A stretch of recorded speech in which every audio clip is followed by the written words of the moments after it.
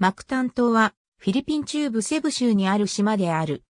セブ島の東海岸、セブ市の沖合数キロのところにあり、セブ島とはマクタンマンダウエ橋とマルセル・フェルナン橋の2本の橋でつながっている。マクタン島の標準的な村島は、ラプラプ市とコルドバ町の2つの自治体に分かれている。島中央部には、セブ島と国内外の多数の都市を結ぶフィリピン国内第2位のマクタンセブ国際空港があり、セブ島に面した側には輸出経済特区など産業の拠点やショッピングセンターなどの観光スポットが反対側の東海岸にはビーチ、リゾートホテルが連なっている。空港からセブ市街へは車で30から40分、ビーチリゾートへは20分ほど。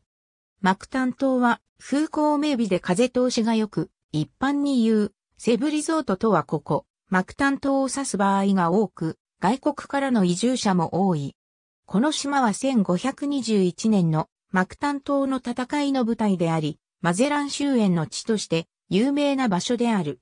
フェルディナンド・マゼランはヨーロッパからの西回りの航路でフィリピンに到達し、セブ島の領主らをキリスト教に改宗させ、スペイン王に従わせた。しかし、ムスリムの領主ラプラプはそれに従わなかったため、両者は対立して戦闘となり、その中でマゼランは戦死した。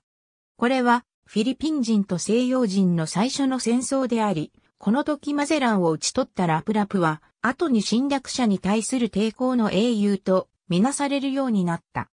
島にはマゼランのフィリピンへのキリスト教布教と世界一周途上での殉職を記念したマゼラン記念碑が立っているが、その隣にはスペイン艦隊の兵と戦い、マゼランを討ち取ったラプラプの像が立っている。